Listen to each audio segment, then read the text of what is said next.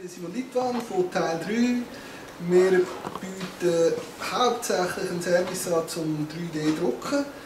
Das ist aber eigentlich nur nebenzu bemerkt. Von dieser Seite kommen wir. Zusätzlich bieten wir an die 3D-Drucker, die Open Source Hardware sind. Die haben wir selber konstruiert, aufbauend auf anderen Open Source Projekten.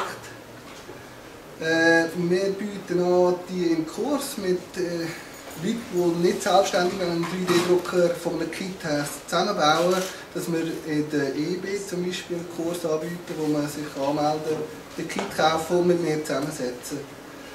Ähm, euch als Lehrer kann ich mir anbieten, dass wir für ein Projekt, wenn ihr ein 3D-Druckprojekt machen in der Schule, dass wir euch so einen Drucker würden zur Verfügung stellen inklusive, also für eine beschränkte Zeit, circa einen Monat oder so, können wir dann äh, schauen mit dem Lehrer, was er für das Projekt genau machen Und wir würden auch Unterstützung bieten, also erstens den Lehrer instruieren, wie er die Maschine bedient und wir würden auch, je nachdem, wenn es gefragt ist, auch mal vorbeikommen und äh, dem Lehrer aus dem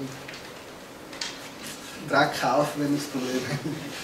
ja, das ist eigentlich so wirklich eine kurze Präsentation, habe ich gedacht, äh, weil die anderen relativ lang waren.